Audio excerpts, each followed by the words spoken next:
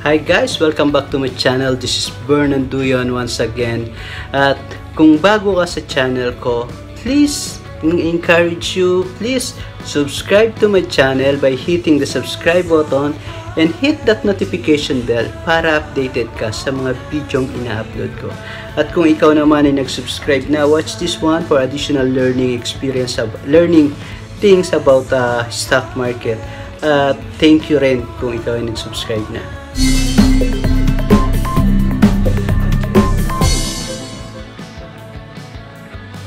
So ngayon, bigyan natin, pag-usapan natin, no, our, our, our topic for today is a PSCI update. No? Kasi, uh, at the moment, medyo, the market is still sideways. No? PSCI closed at 7,877.63 to be exact. And our strong support is somewhere in 77 7,728 and our resistance is around 7,800. The foreign selling is still huge. So, kung mapapansin nyo, ilang araw yung foreign selling still continue to sell their stock. And alam mo, this is the reason why I try to make this vlog every now and then. Kasi, imagine, foreign investors is easily uh, makaalis. So it's it's easy for them to withdraw their money. And kapag umalis sila, nag-withdraw sila, nag-redeem sila ng mga investment nila sa Pilipinas, what will happen is the economy, our economy, our market will drop.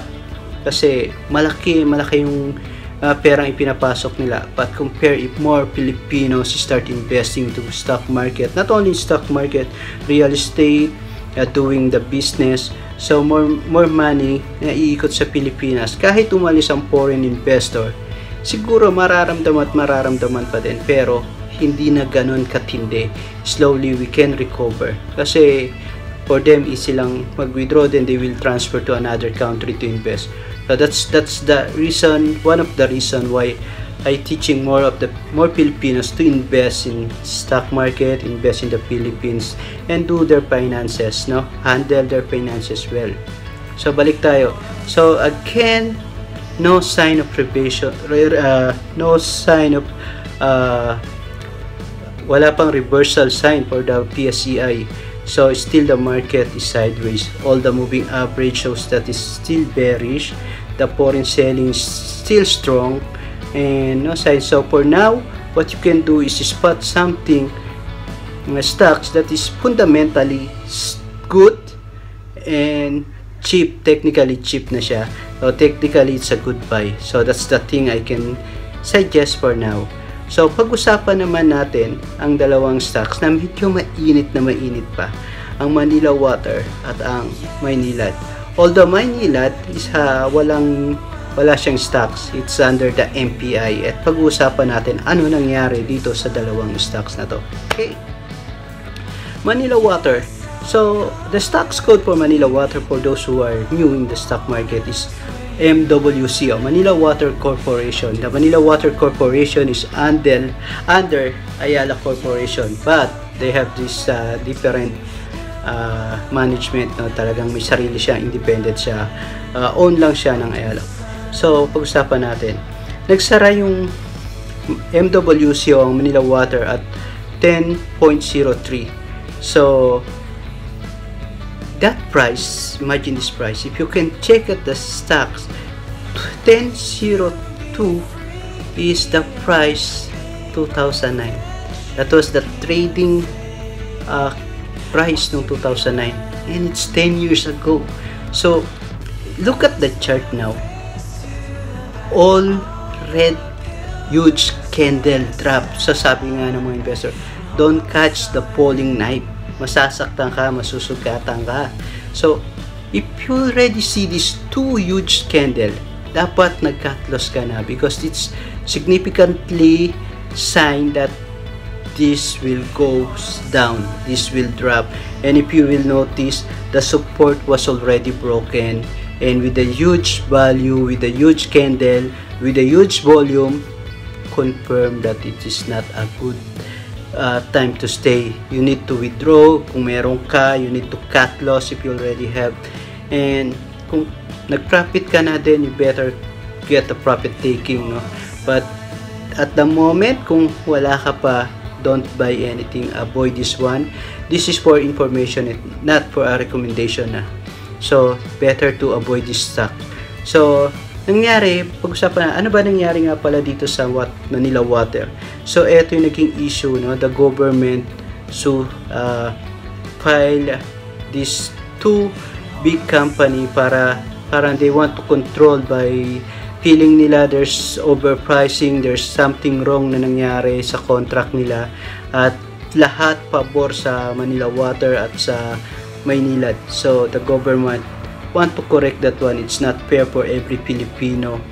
By the way, it's not this is not a political uh, this is not a political vlog. This is a stocks or personal finance but this is something to do with your investment kailangan alam mo rin yung balitang nangyayari I, I don't care about the showbiz I don't care about the politics but for me it is something to do with this my investment or your investment so yun yung issue by, the way this Manila Water and uh, Maynila won the arbitration in Singapore but the government don't like that arbitration so sa malito hindi tama uh, yun so balikan natin yung Next stocks is MPI. So MPI closed at 3.01. Again, compared to Manila, bakit MPI? By the way, MPI owns Maynilad. So, balik ka, same with the Manila Water. 3.01 was the price of my MPI since 2011. That's the trading trading price. So imagine that one. Ah, uh, sobra na siya, no? Kung, kung nag-invest ka at hindi ka pa lumalabas sa ngayon, baka nalugi ka pa. You know? That's why long term doesn't guarantee na kikita ka. It's up to you also. You need to do something. You need to strategize your investment. So, on. So, MPI trading at uh, 3.01 and imagine since uh, kailan lang a few weeks ago it is traded in 4.67 so meaning to say drastic na yung pag-drop niya. So all the moving average all indicators says it's a bearish it's not a good sign to buy no reversal. So and even the net foreign selling is huge. So at the moment hold on ka muna dito avoid the stocks. If you already have this one better do cut loss. So that's the thing. So kailangan mo talagang matutunan ng cut loss or kung gain ka profit taking ka and then abangan mo na lang talaga if you're interested into the stock abangan mo sa baba. So I think that's the that's our for today. So Manila Water and MPIR it will take time for this one because the government this one uh, looking at it.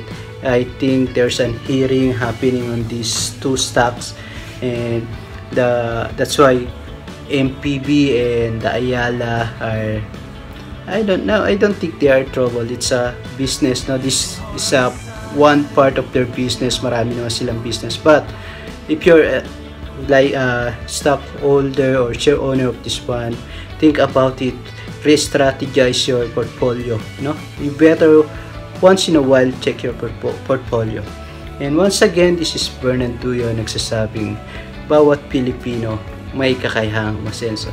At kung may mga gusto kang pag-usapan natin, comment ka lang and anything about personal finance, investment, financial planning, or anything debt management, pag-usapan natin yan. Just put your comment down and shoutout kita at pag-uusapan natin yan sa mga darating na araw. So I hope you learned something with this and naniniwala ako Pilipinas is napakaganda pa rin lugar para mag-invest at lahat tayo magiging proud once the Philippines become a first world country. So, again, this is Bernard Tuyon nagsasabing bawat Pilipino may kakayahang masenso. God bless everyone.